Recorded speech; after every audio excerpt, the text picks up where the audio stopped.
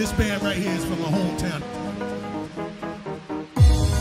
And since I was 16 years old, when I sit in the corner, I used to watch this Funk. And we're gonna do a little something like that.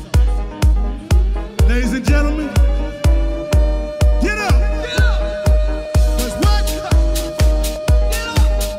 Cause it's what? Party time. Y'all can do this.